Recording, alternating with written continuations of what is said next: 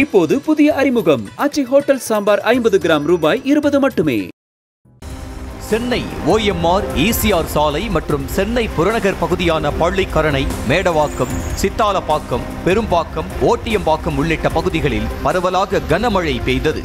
இதனால் தாழ்வான பகுதிகளில் மழைநீர் தேங்கியதால் வாகன ஓட்டிகள் அவதியடைந்தனர்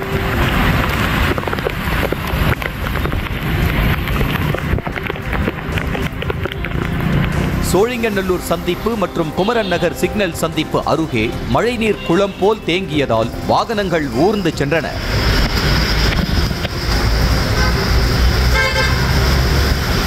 பள்ளிக்கரணை மேடவாக்கம் உள்ளிட்ட பகுதிகளில் பெய்த மழையால் பள்ளிக்கரணை வேளச்சேரி பிரதான சாலையில் மழைநீர் ஆறு போல் தேங்கியது.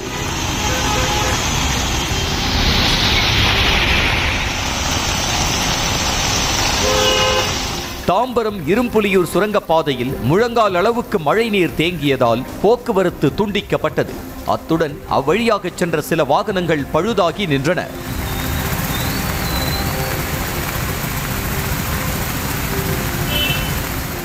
சென்னை பெங்களூரு தேசிய நெடுஞ்சாலை வேலப்பஞ்சாவடி அருகே உள்ள சர்வீஸ் சாலை குண்டும் குழியுமாக உள்ளதால் மழைநீர் தேங்கியது.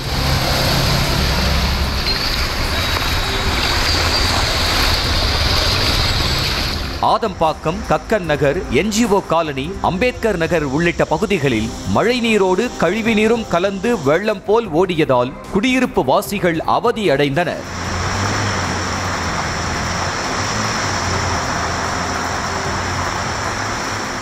அதேபோல் ஆதம்பாக்கத்திலிருந்து வேளச்சேரி செல்லக்கூடிய வண்டிக்காரன் சாலையில் மழைநீருடன் சேர்ந்து கழிவு நீரும் வெளியேறியதால் அப்பகுதியில் துர்நாற்றம் வீசியது.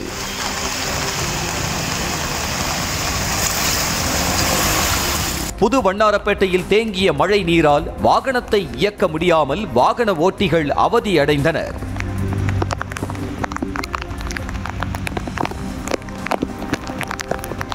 சென்னை திருவொற்றியூர் வடிவுடையம்மன் கோவில் முன்பு கழிவுநீர் கொப்பளித்தவாறு வெளியேறி சாலையில் தேங்கியதால் கோயிலுக்கு சென்ற பக்தர்கள் அவதியடைந்தனர்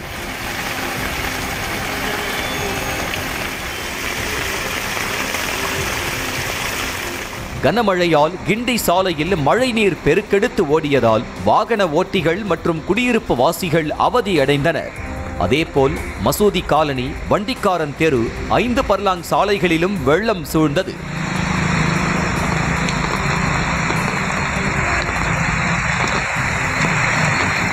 வட சென்னையில் கொட்டி தீர்த்த மழையால் பெரம்பூர் முரசொலிமாறன் மேம்பாலம் பகுதியில் வெள்ளம் தேங்கி போக்குவரத்து பாதிக்கப்பட்டது.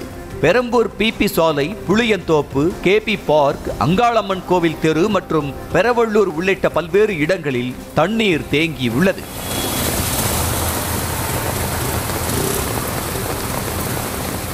இப்போது புதிய அறிமுகம். அச்சி ஹோட்டல் சாம்பார் ஐம்பது கிராம் ரூபாய் இருபது மட்டுமே. செய்திகளை உடனுக்குடனும் துல்லியமாகவும் தெரிந்து கொள்ள சப்ஸ்கிரைப் பண்ணுங்க.